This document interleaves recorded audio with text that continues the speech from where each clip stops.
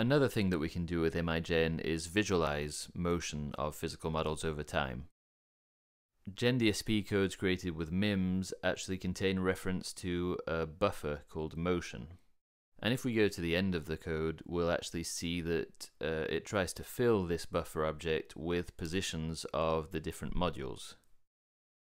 So if we want to use this, we have to create this buffer object in Max, and we'll have to define the number of samples that it contains. So this will be the number of material points in our physical model.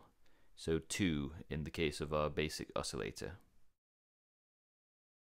And now what we want to do is create something which will allow us to visualize this buffer over time. So we'll use the plot object and we'll make sure it refers to this motion buffer and we'll define the range to be between minus 1 and plus 1 because given the force impulse that we've sent to our physical model that should be the range of motion.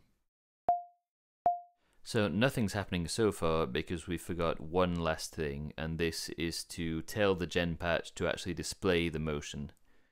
So it will only spend time filling this motion buffer if we ask it to. So if we set this to 1, we can actually see the first module moving. The second doesn't since it's a fixed point.